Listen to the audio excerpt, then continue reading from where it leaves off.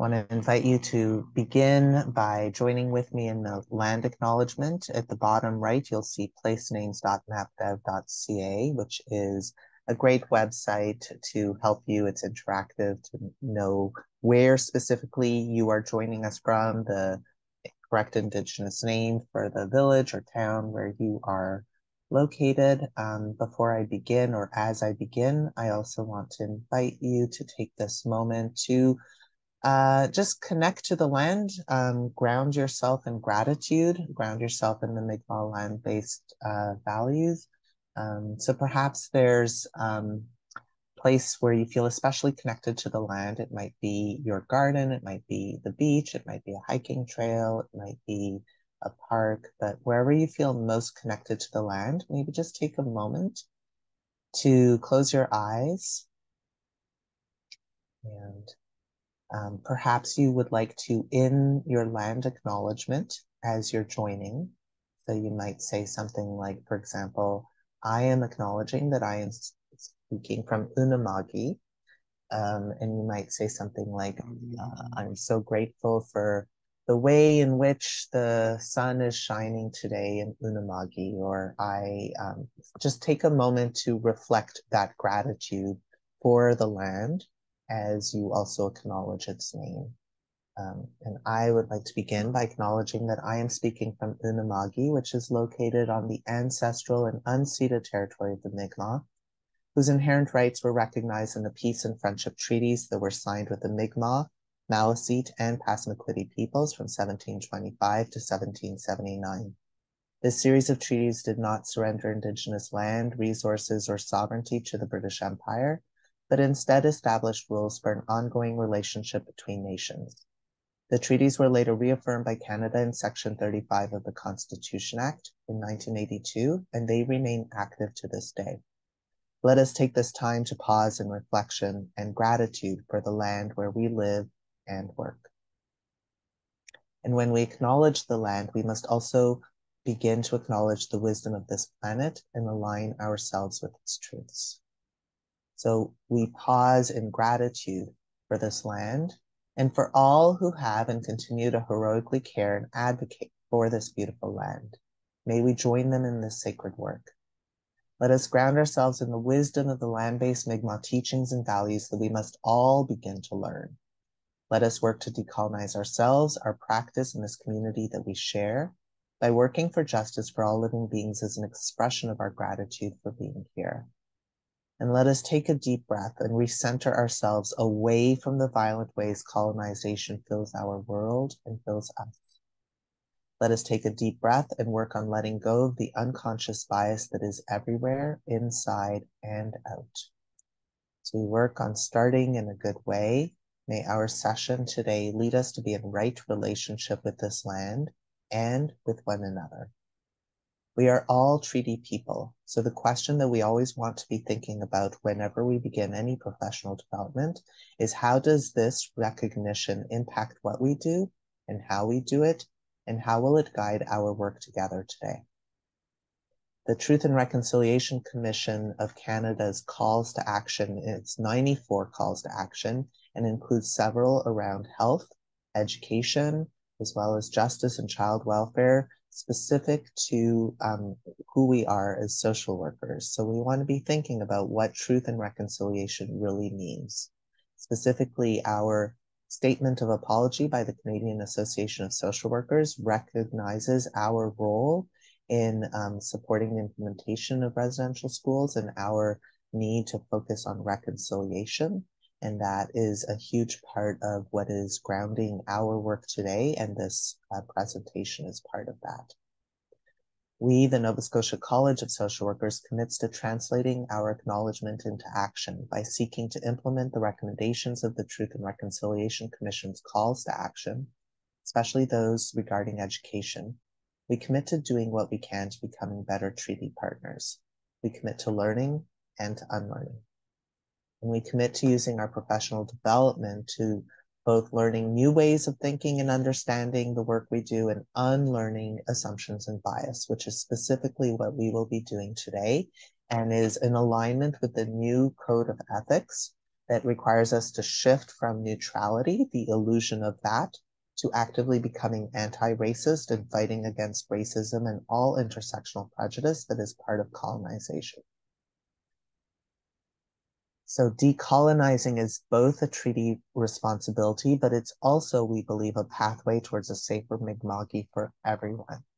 And as we recognize that there is a need for um, our province and all of us to align our policies with Indigenous treaty rights, we take this moment to commit to using our professional development to think about how we can begin to unlearn so that we can be learning a new way forward. This is part of decolonizing and part of our commitment towards restorative practices. Decolonizing, we understand to mean healing intergenerational trauma and um, working to unite to fix the colonial systems and intergenerational trauma that we inherited, which is also the basis of just culture and safety principles, which I will be speaking more about today. We also recognize that becoming anti racist is a journey from denying that exists to a sense of fear about avoidance to beginning to learn to beginning to unlearn, which is part of the growth, to recognizing that we don't even know fully what it could look like to be in an anti-racist or non-racist world. And so that's where you can see that green arrow is shifting us, um, but we don't even know where we're headed, but we know we want to be headed in that direction. Decolonizing ourselves and our practice means recognizing the ways in which we are each impacted by the colonial system in which we all participate and from which those of us of settler descent continue to benefit. Each of us, depending upon our social location and intersectional positionality, are uniquely impacted or oppressed. For example, those of us from African descent were dispossessed and uprooted from their land and brought to Turtle Island against their will as part of the white supremacy and slave trade that fueled the settlement of this continent. So we take this moment to reflect upon the unique impact of colonization upon each of us and upon our practice. And we think especially about um, intersectionality and um, the ways in which it is a lens through which we can see where power intersects and amplifies itself. And we are actually going to hear in a few moments Kimberly Crenshaw, who developed this concept. Um, and we're going to hear her own definition of this, but it is part of our commitment to safer social work practice. So Kimberly Crenshaw um, is specifically focused on sharing, um, and she's going to be talking about it in the context of education um, as she defines intersectionality, which is the term that she invented. Um, but we reflect upon it not just in terms of our learning, but also in terms of um, our practice of social work. So I'm actually just going to stop screen share for a second. Um, I just want to make sure that I um, Oops. So make sure that I shared my sound, which, you know, it's, I'm being imperfect and that's part of um, good social work practice is being willing to not worry if we um, are not perfect. What matters is that we're doing the best we can. And sometimes uh, that's part of it, as we will also discuss. So here we are learning from Kimberly Crenshaw.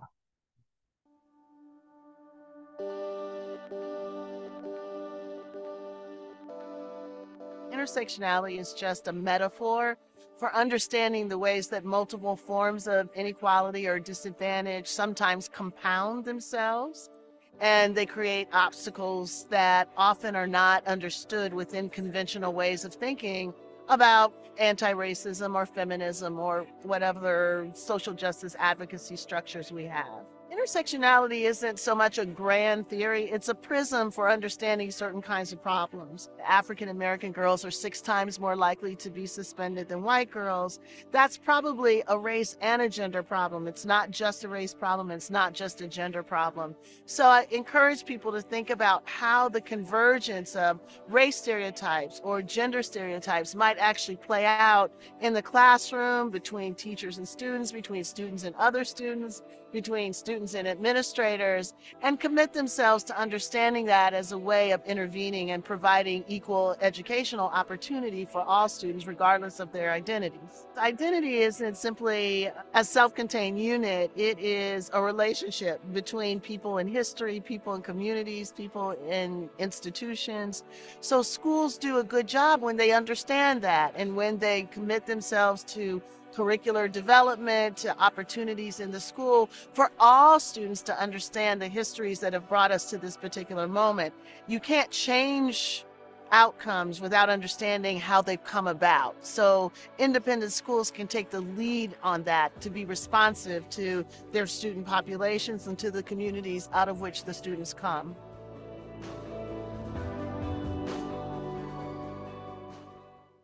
So that wonderful um, video is uh, has uh, Kimberly speaking a little bit about um, intersectionality, and intersectionality is means that we all have different perspectives on intergenerational trauma, and sometimes multiple coexisting and amplifying versions of it because colonial and intergenerational trauma looks different for different people.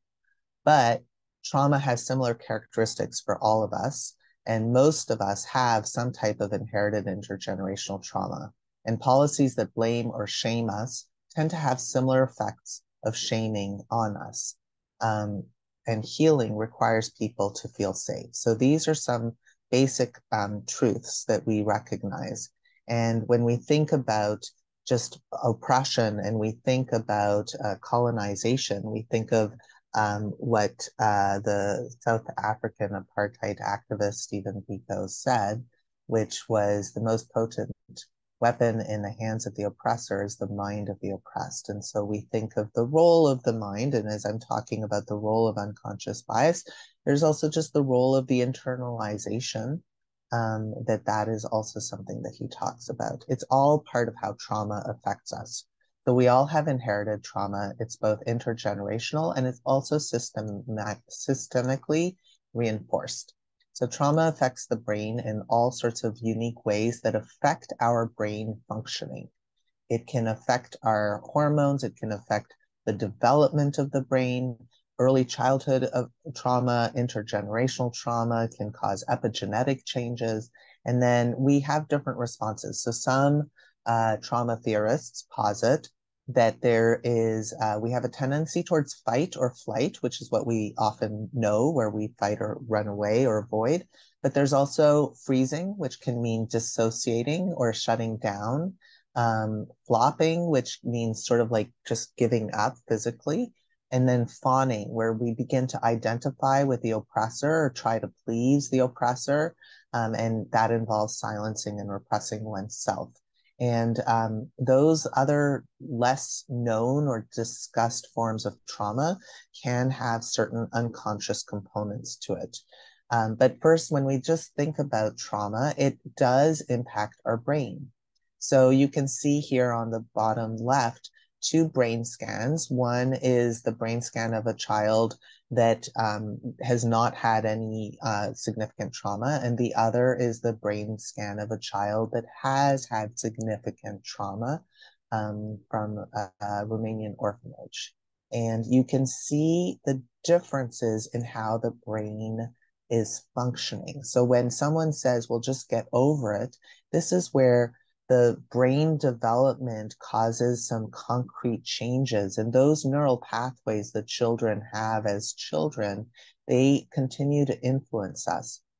And when we've experienced trauma we ex- come to react to that in different ways. A trauma informed approach is about shifting from what's wrong with you or why can't you think differently to what's happening. Why are you thinking this way? And then it also means shifting from a punitive, you did this wrong, to recognizing that people do the best they can with what they know or see or understand. And a restorative approach is about beginning to work on healing and justice, but in a way that is trauma informed.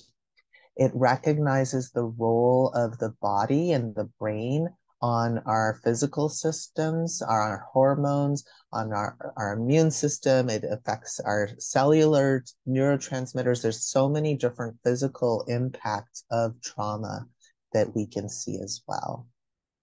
So trauma can also affect our perception. And um, our perception is what shapes our decisions about how we respond to things and how we react.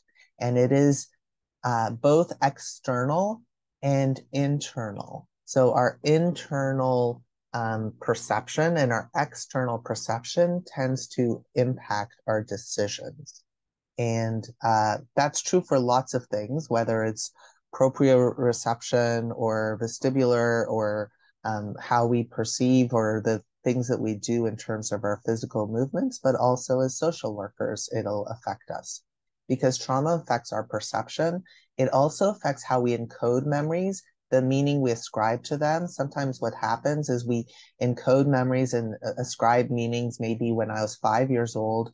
Um, so, for example, Dr. Gabor Mate talks about what happened to him when he was an infant and how his body and his memory encoded uh, trauma, early trauma, and it, he never really updated it until he was in his 60s and he went through some counseling to really begin to understand how that trauma that happened to him when he was young continues to impact him not so much by that trauma as much although that obviously had some somatic and biochemical and hormonal things but also the meaning that we ascribed. He didn't update his meaning and the updating of the meaning was part of how he understood his healing to happen but definitely trauma can influence our perception. And feeling safe in the current world will influence us. So if we're not feeling safe we will have one reaction. If we are feeling safe, we tend to have another reaction, and that has certain survival components. So uh, our, we access different parts of our brain and different hormones because maybe we do have to, our, our body has been wired to expect to need to run, to flee for survival. So the information, how we process it, um, is going to be impacted also by those larger structural dynamics that affect our feeling of safety. So we can see the role of perspective in um, what we do and how we do it. And we often talk about choice, um, but actually, what we can see even in this brief start of this presentation is the role of um, a lot of structural influences and inherited intergenerational in issues to create certain aspects within ourselves that will also inform how we perceive things.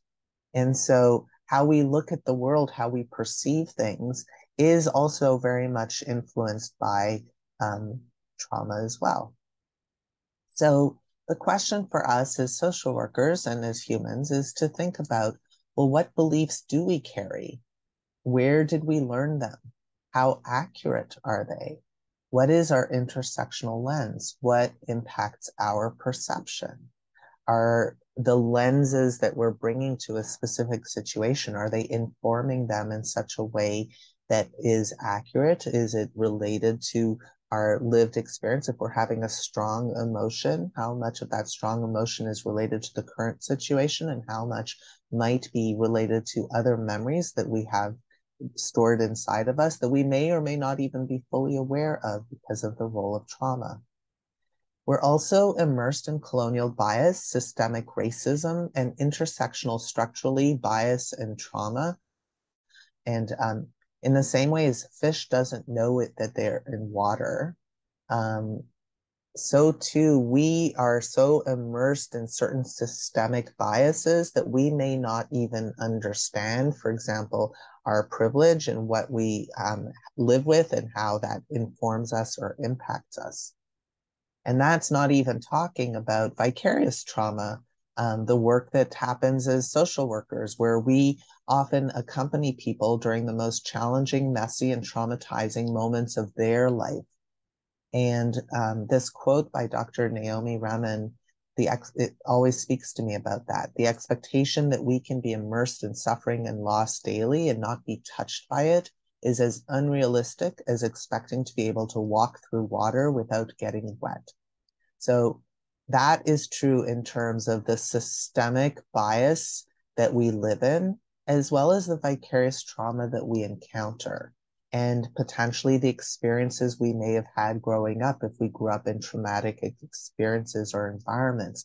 All of those things influence us no less than putting a sponge in water will make it wet. And that's one of the reasons why we require minimum of two hours of vicarious trauma professional development, specifically to ensure that um, the trauma that we're observing or immersed in doesn't impact us in ways that cause us harm. So, all this is part of thinking about the role of the unconscious. And as social workers, we've tended to focus a lot on the external, on for very good reasons, on systemic injustice. But trauma really is about looking at the unconscious. Now, we have tended to go away from it because when we think of the unconscious, sometimes we might be inclined to think of Freud. And Freud, you know, he certainly developed this concept or made it a little more well known but he also brought with him his own set of biases and assumptions um, and an approach to uh, therapy that not everyone aligns with. Um, but it's still important to understand the role of the unconscious because it continues to influence us, not necessarily in the exact ways that Freud um, understood, although some of you might be Freudians and uh, agree that, but whatever we understand in terms of the unconscious, it it is related to sort of those um, those automatic responses. Um, so when I say like what is in a name, if we call a rose by any other name, it would smell as sweet. The role of the unconscious is certainly a huge part of it. But we have not tended to do it because our medical system is uh, it's harder to study the unconscious. So if we're focused on evidence-based care, we tend to focus on things that are evident or visible. And studying the unconscious is not impossible, but it is more difficult than studying that which is visible. And because evidence based care is also connected to, um, for example, the pharmaceutical industry that might uh, be funding some research and funding uh, potentially the positions of uh, certain people who might be on peer review journals or just the, the complexity of that um, it's it, we don't see as much research on the unconscious as well. Um, we might see more research on um, therapies that can be uh, well integrated with uh, pharmaceutical interventions for anxiety or depression, for example. And we see the the medical model talking about disease or pathology around anxiety or depression as opposed to thinking about intergenerational trauma as opposed to thinking about the role of systemic injustice and trauma on the way we um, experience the world so uh, while um, freud you know talks about defense mechanisms and we will talk about it and he highlights the difference between repression and suppression so suppression is where you consciously push something out of awareness, where you're like, yes, this happened, but that was in the past and I'm not going to think about it. Repression tends to happen unconsciously and automatically. So internal family systems is another method. There are many, many different methods and trauma and somatic therapies in particular. Somatic therapies are really great at thinking about how um, uh, trauma is stored in the body. The body keeps the scores. Um, one book that uh, talks about that. Internal family systems is another wonderful methodology to thinking about trauma. Um, and it looks at the core self, and then it looks at how we have different parts that react, like our inner kid that maybe learn to be a manager, learn to take care of other people. For social workers and healthcare providers, we tend to have um, managers that are like, I'm going to plan, I'm going to caretake, I'm going to take care of things, or firefighters. I'm going to um, maybe uh, react and try to like stop myself from feeling overwhelmed by numbing out. Maybe that's where addictive behaviors happens. Um, and then there's the exiles. Those are the parts of us that um, have been hurt or wounded, that hold trauma and pain, that are sometimes exiled into the unconscious. um, or they're they're shut away is really more the language. So there are different words for talking about the role of the unconscious. But what we can see is that the unconscious is maybe a little bit like muscle memory, where certain things get encoded, and it's meant from a survival perspective so that they can become automatic. Um, it can be adaptive, except that sometimes it's not. And that's what we're going to be talking about today when we talk about unconscious bias. Um, you know, in the same way as driving a bike or riding a bike, you might automatically learn to veer to the left if you hit a rock on the road. So too, we might, our unconscious might have learned, for example, if um, I'm interacting with someone and they take on a certain tone that reminds me of a, a family member that traumatized me, I might learn to adopt a certain behaviors and I might do it almost unconsciously, like muscle memory. So that's sort of the the idea that, for example, internal family systems might talk about. When we think about trauma, there's the personal and there's collective, and um, recognizing that a lot of it happens not in the conscious mind, um, and thinking about what separates the conscious mind from the unconscious mind. Increasingly, theorists are talking about the role of shame as that which keeps us from accessing our unconscious. So shame is a huge, um, almost like wall in this image. Um, it's what separates us from the parts of us that are hurting. Um, and it can, a variety of different pro- projections are is one defense mechanism that some people might call about. Um, strategies, coping. So perfectionism is another one. I'm going to just try to be as perfect as I can. And certainly colonization has taught us about perfectionism as an ideal. Um, and unfortunately, it we it's reinforced by the way we if we make a mistake in our systems, whether it's in healthcare or in society at large, we are often punished. And punishment is a big business. And in the states, prisons are privatized. And in fact, there's even an amendment in the Constitution to ensure that slavery um, is continued in um, in prisons in the United States. So um, we can see how the economic system reinforces a punitive culture, and it is part of colonization. But punishment teaches us to hide. And if we were already traumatized and we learn to hide early, then that actually amplifies the cycle of shame. And the more we're punished or told that we're doing something wrong, the more we hide, the more we have shame, the more that trauma feels worse, and it becomes a, an escalating cycle. And uh, intersectional oppression and intersectional trauma can amplify that as well. And uh, a lot of different uh, defense mechanisms can happen from projecting onto others unacceptable feelings to displacement. There's this is these are really from the psychodynamic perspective, which is a different topic. We may be looking at decolonizing psychodynamic uh, principles as an upcoming lunch and learn. Let me know if you are interested. Um, but thinking about the ways in which, for example, reaction formation.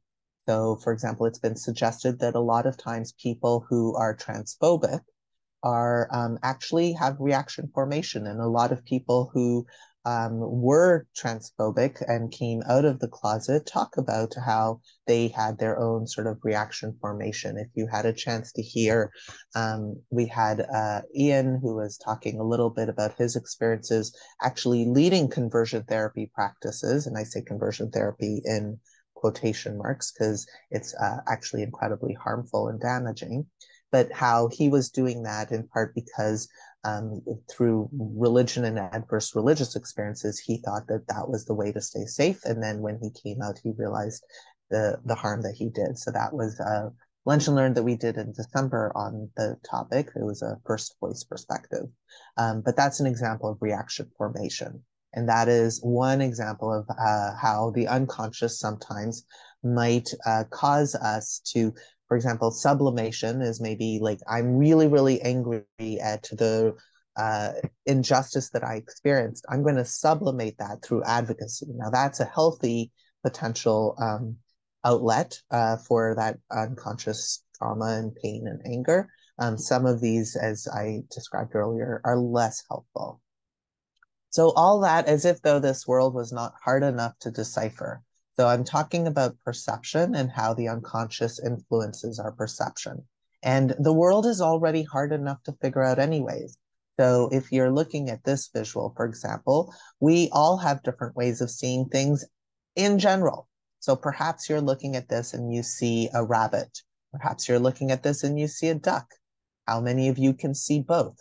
How many of you can see both simultaneously, the capacity to hold two different perspectives simultaneously without having cognitive dissonance and anxiety is its own um, challenge and opportunity. And that's really where the binary approach of colonization that tells us to go either or um, reinforces that. And that's where, for example, if you um, for example, are familiar with dialectical behavioral therapy for uh, trauma or what uh, some people call BPD, borderline personality disorder, which is probably just a form of trauma. Um, but that is a whole theoretical debate to have. Um, but one of the methods is to try to learn to cope to seemingly conflicting opinions simultaneously and doing some self regulation and breathing to be able to restructure how we think of things. So, this is an exercise that can help us do that. You might see the beak over here. You might see the eye and the nose of the rabbit here or the beak of the duck there, depending on which direction you look. Um, this is an example of how the unconscious um, functions that is separate from the larger structural influences that uh, inform our thinking, that create both explicit and implicit bias. Um, and uh, the associations that we have, a lot of them are reinforced, even if they're explicit biases, they're reinforced by implicit biases.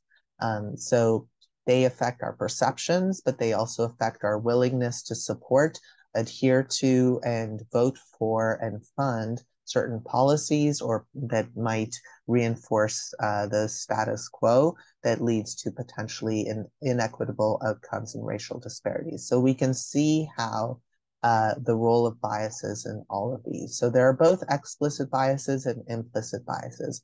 Explicit are when you're aware of the thoughts or feelings, maybe towards specific groups, um, implicit is more of unconscious, like a gut reaction, um, sort of without thinking kind of thing. Like when you're driving a bicycle and you hit a stone and you automatically adjust to correct. You may not be aware, um, and those are the implicit biases.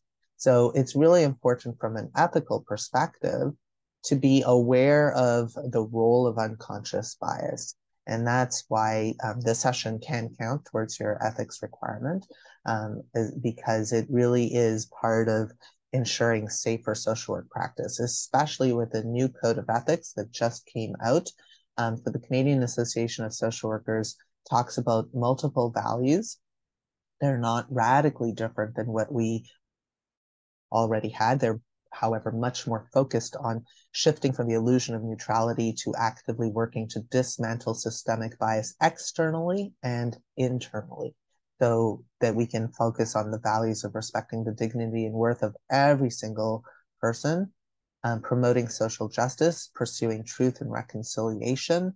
Um, so all of these involve becoming aware of our own um, internalized racism, internalized uh, structural bias, um, and then also focused on valuing human relationships, valuing our relationships more broadly. That's um, something that I know specifically uh, as a, with a decolonizing lens, having a non-species approach, but to recognize all relationships with all living beings and all of creation um, is something that uh, in our consultations, as we take the CASW Code of Ethics and translate it to our own, that we're looking at.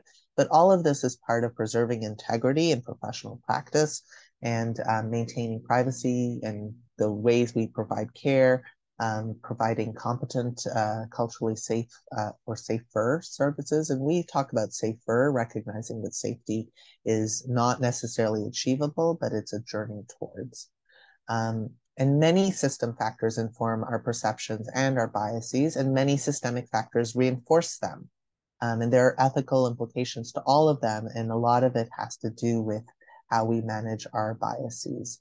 Um, but then finances and other things will also affect that. So the first step to uh, addressing unconscious bias is acknowledging that they exist. So that's step number one. How do we begin to unlearn? We have to become aware of them. So you may or may not be familiar with uh, the project implicit. It comes from Harvard. Um, and it, uh, it, it, as well as a couple of other universities. Um, and it used to be called Project Implicit Mental Health. Um, and it's an association test that you can take on a variety of different kinds of biases. There's racism here is the one I visualize, but there are many different ones. And it's one way to become self-aware. But of course, there are many ways, being able to hear difficult feedback from others non-defensively, but to simply hear it is another way. Uh, but it's important to know that bias is a little different than prejudice. Um, bias can be both positive and negative um, whereas prejudice is very negative. Um, and but both will result in unfairness or differences. Um, and then there's conscious versus unconscious. So conscious has chosen. If you know better, you do better. Unconscious, for example, is not necessarily even being aware. So I didn't know that when I use this term, it can be offensive, for example. And uh, when we're talking about biases, I want to bring us back to this particular visual, which talks about the role of fear. So, what are we actually afraid of when we're talking about this? We're afraid of maybe doing things wrong. We're afraid of what we don't know. We're afraid of maybe being ashamed if we don't know something or ashamed of our role in perpetuating and complicity. Um, so, fear does play a significant role um, in uh, maintaining the racist status quo is what increasingly a lot of uh, theorists are informing us. And so addressing fear is important to addressing unconscious bias and understanding unconscious bias understanding systemic ones and feeling comfortable leaving our comfort zone and checking ourselves and thinking about which ones happen automatically, which ones are based on conditioning.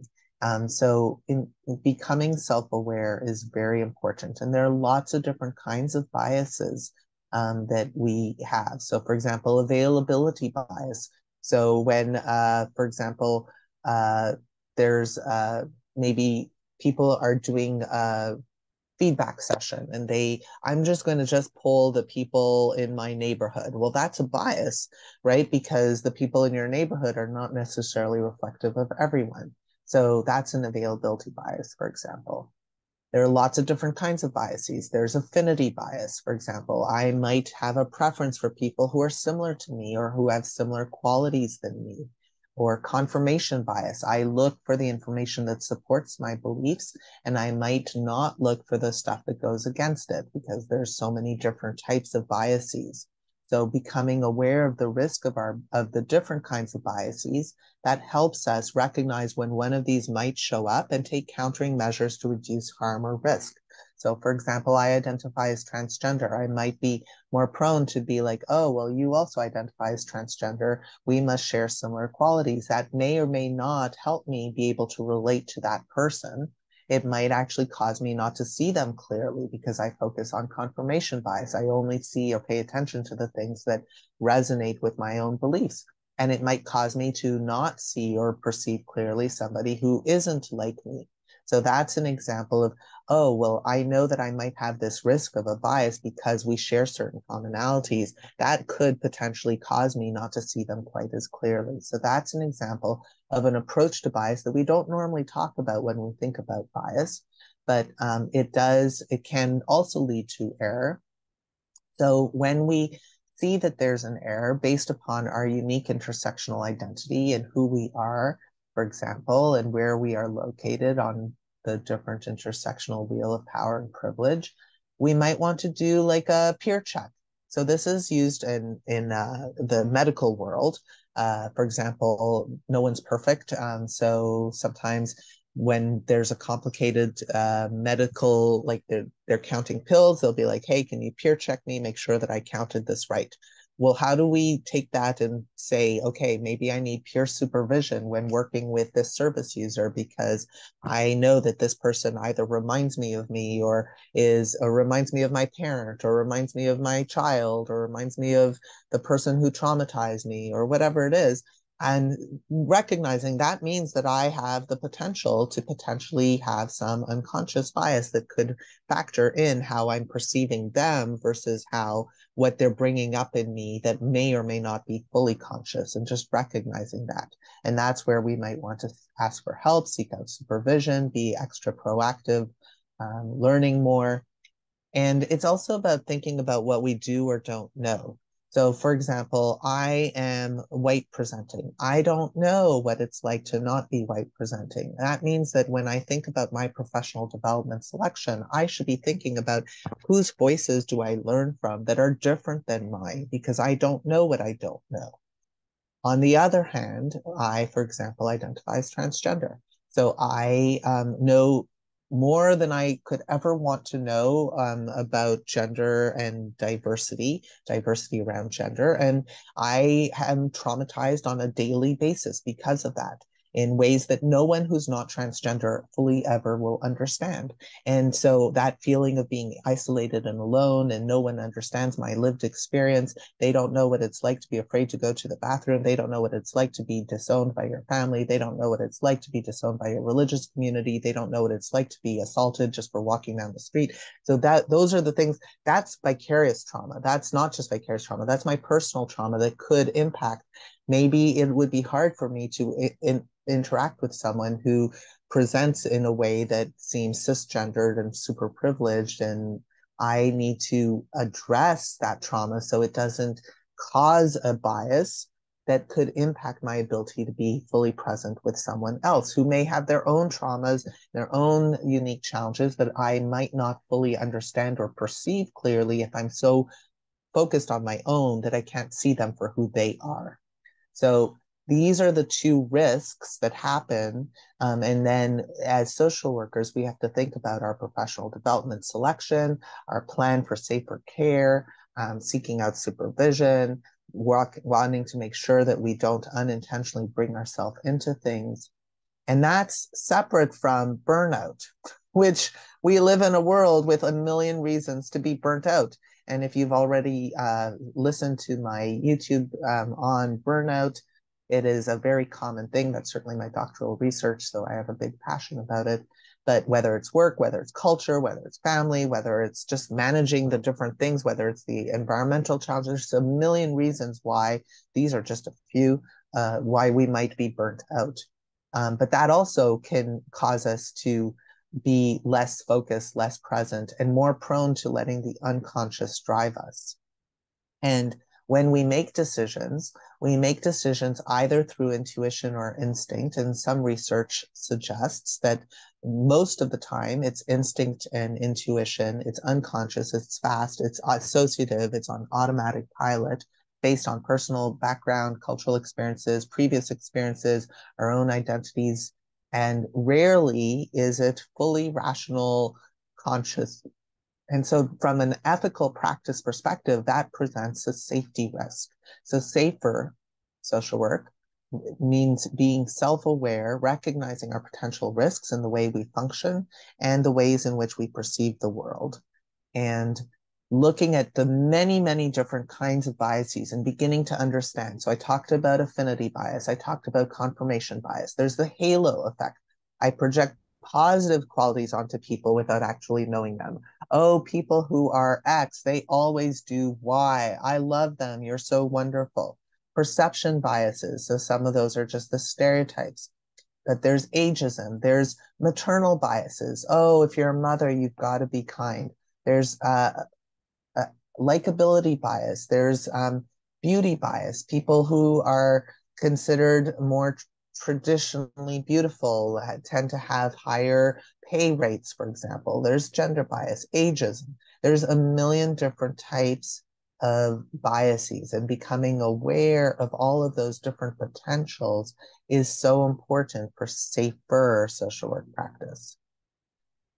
So, what does this mean for us? As people trying to make it through this really scary, confusing world. With on top of it, it's not enough to be thinking about all the stuff that's out there, but what about all the stuff that's inside of us? Well, it means recognizing that we're all human, we all have vulnerabilities, and our ethical responsibility is to recognize where our risks for harm might lie and to begin to develop safety plans um, so that we can reduce the risk of bias and stigma causing harm. It means being aware of our positionality in each of these different ways, whether it's around geography, ethnicity, education, ability, culture, age, sexual orientation, gender identity, religion, race, marital status, language, indigeneity, income, immigration status, these are just some of the many, many different types. Um, and this is part of ethics and becoming aware of implicit bias as an ethical mandate, which is what our new code of ethics is causing us to do. And what we at our upcoming conference, um, May 24th and May 25th, our annual conference, we're going to be really focusing upon unconscious bias as a core part of ensuring safer social work practice. Um, and it's part of this move, recognizing that we may not ever get to safe um, with no danger because we live in a world where there's so much lack of safety, but we can certainly work towards that. We shouldn't just give up and flop and be like, well, there's no point. Um, we can always be working towards safer social work practice and coming up with safety plans based upon our own self awareness of where we lie. And that's the conference that we're hoping that we're going to be doing. Um, but the first order of business ultimately is about how do we decolonize the mind. If you're not familiar with Dr. Michael Yellow Bird, who leads the social work, um, I think at the University of Manitoba, if I'm not mistaken, um, he talks about neuro decolonization and the ways in which colonial beliefs issues around perfectionism, binary, punitive, shaming, trauma, all of these things are part of our psyche. And decolonizing is recognizing that it's not about an individual, but it's about the system that indoctrinated each and every one of us. And um, the fear of being blamed sometimes can maintain the status quo um, and the blame and shame culture keeps us from wanting to speak out sometimes, which is why our conference is going to be focused on how can we begin to speak out in ways that are not blaming, in ways that are not shaming, but in ways that can help us begin to heal and learn together. And that is part of unlearning the power of perfectionism that continues to haunt so many of us, continues to amplify the trauma, continues to cause a lot of shame. So just culture is one approach. It's um, evidence based. It's uh, used across Turtle Island. It's an approach to healthcare. It's not yet um, been well integrated into social work theory, but that's what we are trying to begin to do. And just culture is about looking at instead of punishing when a mistake happens, um, but looking at well, what can we learn from why this mistake happened and how can we create safer practices? Um, so instead of punishing which causes people to lie avoid not take ownership for their part um, but instead in fact if you go to many hospitals that adopt just culture when um, someone spots a mistake or someone spots there's like a good catch a safety catch and it's celebrated. Celebrating that oh you you almost gave that person the wrong mis- medicine but you caught yourself because you did a peer check. How wonderful that is. What if we treated racism and bias like a medical error that could cause harm? Because it can cause harm. Just uh, we don't treat it with the same degree of severity and yet it can cause profound harm, worse harm, in fact, than medical errors because it's the ultimate medical error. It's the reason why there's different healthcare disparities between people of one race and another, between people of one uh, socioeconomic background and another, one gender and another. that this is actually the ultimate medical error is the failure to address systemic racism and the ways in which colonization is haunting us all. What if we treated it the same? Um, colonial systems blame and punish the individual, whereas a just culture addresses the system that enabled the mistake. So there's uh, there's a lot of wonderful research on just culture versus blame culture, um, which and then no blame culture, which is step one, no blame. Okay, let's you know recognize that the system is there. And then just culture is working towards safer and braver care is like saying hey look at this safety catch. Let's celebrate that. Let's learn from it. Let's do a deeper mistake. Why did i say that thing that i might have caused you harm? I um might have used a word that is harmful and is um, you know i absorbed it from the unconscious and i used a negative stereotypical word for example or when someone misgenders me which happens all the time. So sometimes people misgender me and it's accidental. Sometimes it feels very intentional. Either way that happens because we live in a society where people are not used to they pronouns yet and i say yet.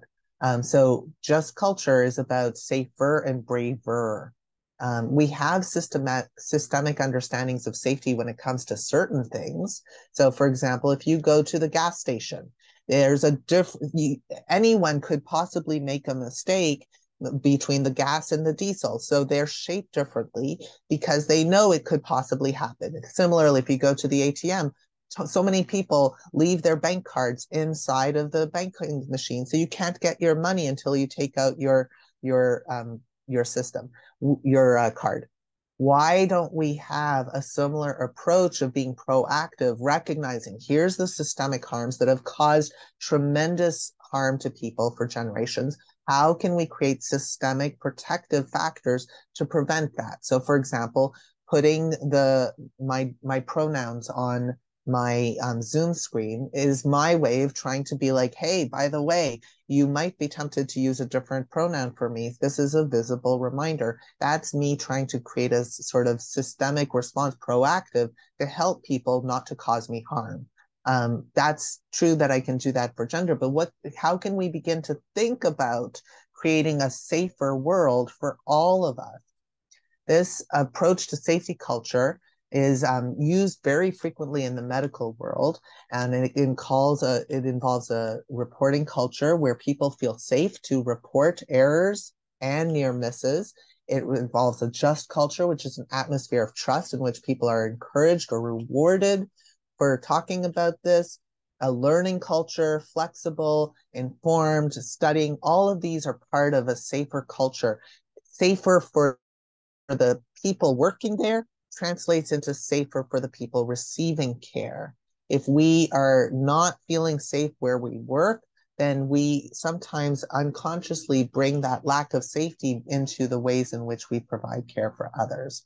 And so the just culture has certain principles that are actually incredibly similar to a more decolonizing lens involving flattening hierarchy hierarchies, listening to all people. So safety huddles, when they're done properly, involve everyone, whether it's the chief, uh, the chief neurosurgeon or the person that's cleaning the floors or the patient. Everyone has a perspective that can be contributed, and embracing those different perspectives together and being able to think about doing things differently. Transparency is a huge part of safety. How do we talk about things openly?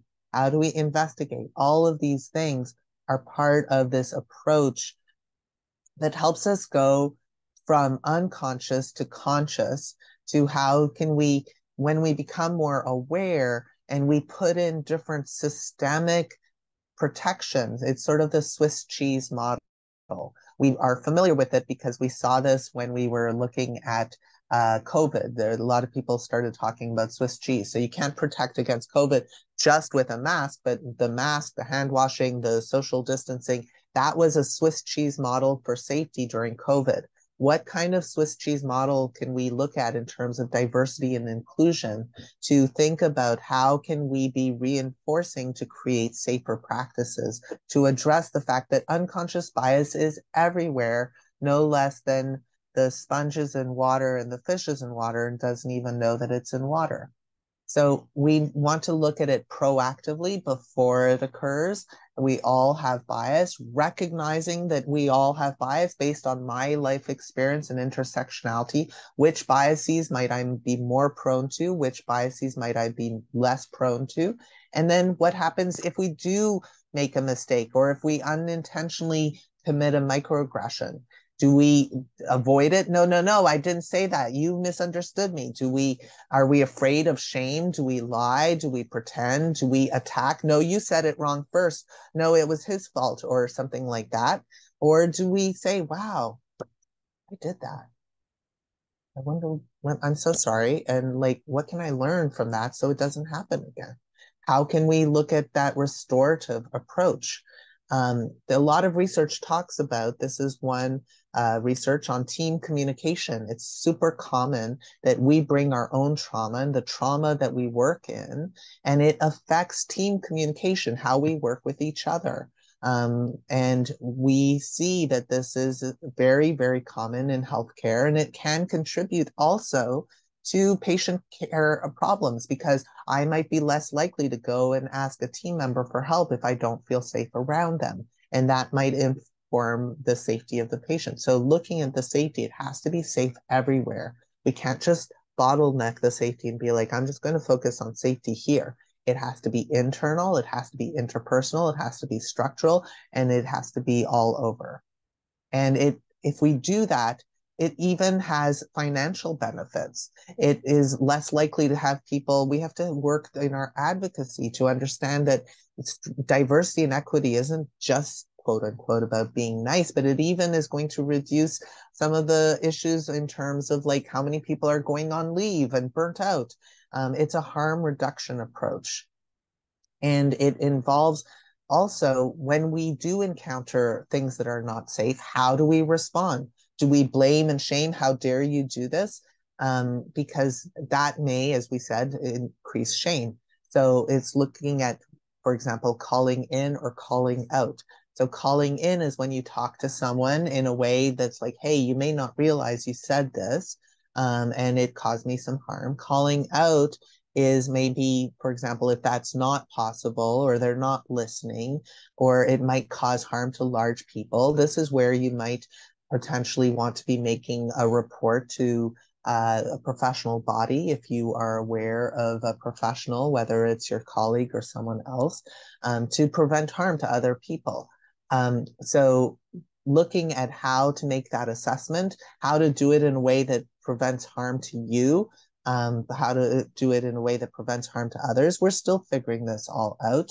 Um, and uh, if you are interested in being part of our professional standards and ethics committee or our education committee or social justice committee or decolonizing committee, we're trying to figure these out.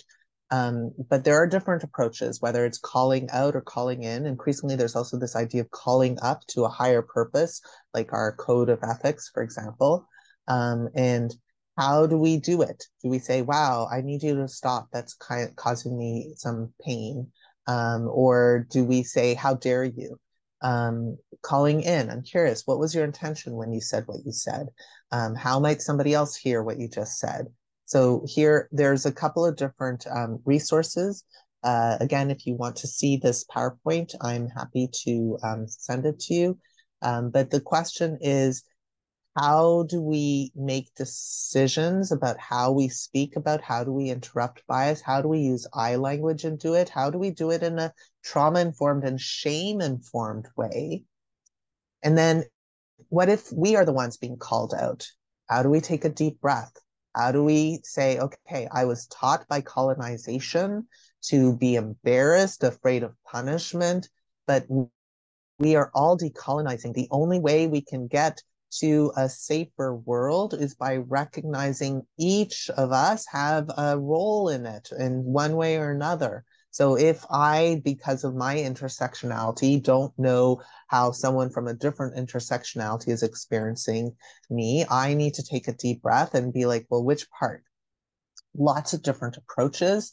Um, so here's three. There's the claim method centering yourself, you're not being attacked, listening, acknowledging, apologizing, inquiring if they have time, if not, just doing your own inquiry, moving forward. That's one approach. Another approach is the comfort stretch panic zone, where we feel confident to engage in conversations about what we know about, where we stretch, we're less comfortable, how far are we stretching? Are we anxious? How can we begin to address that anxiety? How do we look? Um, there's also this other nonviolent communication model.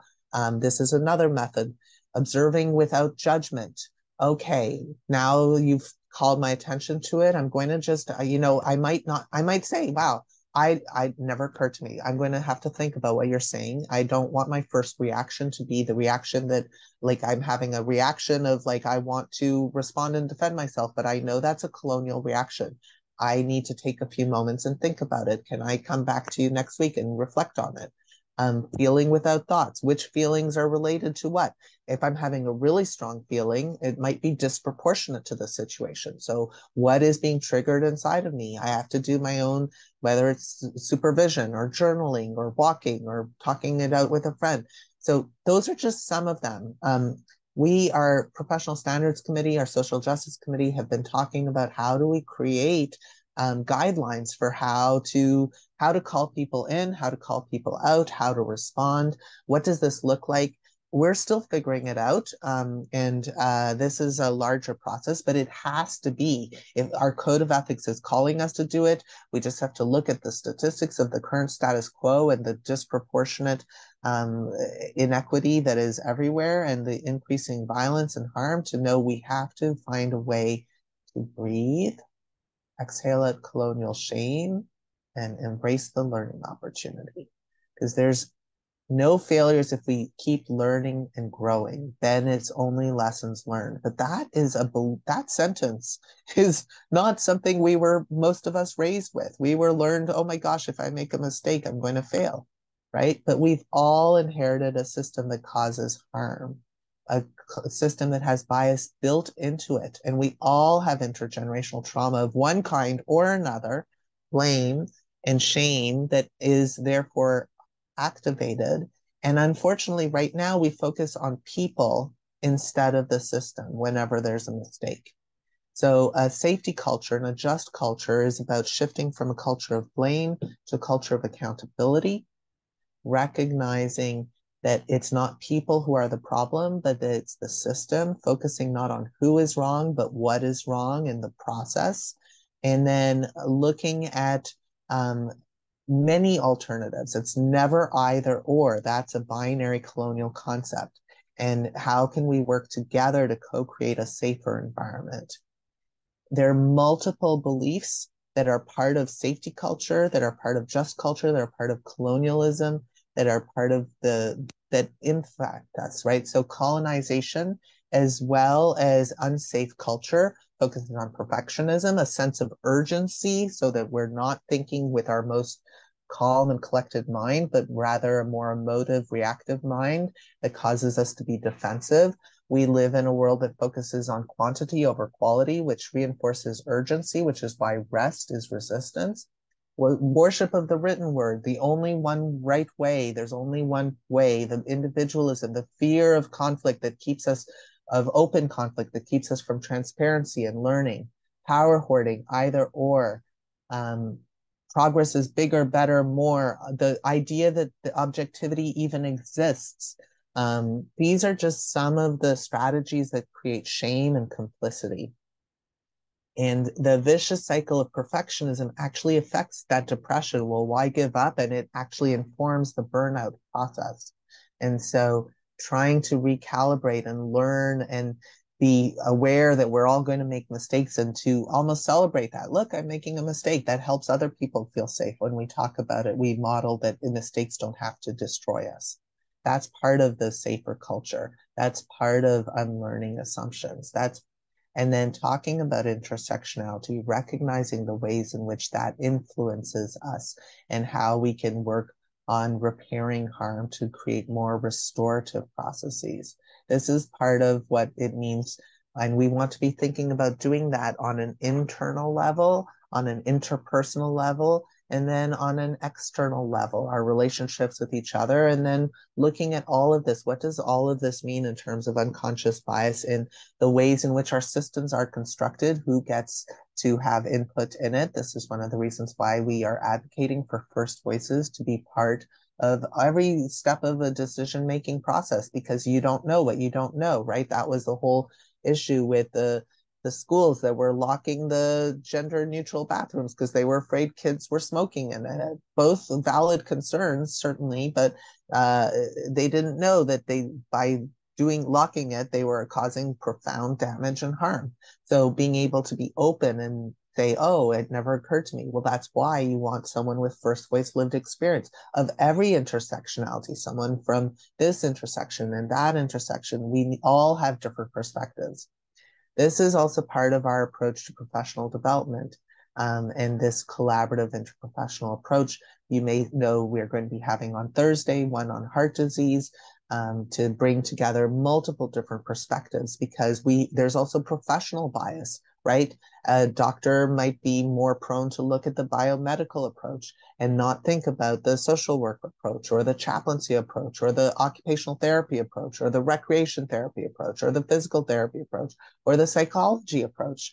All of these are part of a larger whole and we safer care involves recognizing professional biases because of our training and positionality, because um, the system has us sometimes pit against each other. Like there's the biomedical, and then you sometimes get one quote unquote allied health provider there for everything when we each have unique perspectives. So, how do we work together? How do we make referrals to each other? What does that commitment to safer practice look like in terms of our professional development learning so that we privilege okay, uh, based upon my positionality, I might be more prone to unconscious bias in this area. So I need to look at either prevention of my own distress and trauma or advocacy or learning about people's experiences that are different than mine.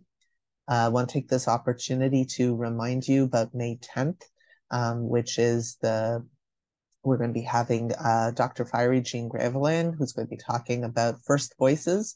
Um, and that's an important part of unlearning bias.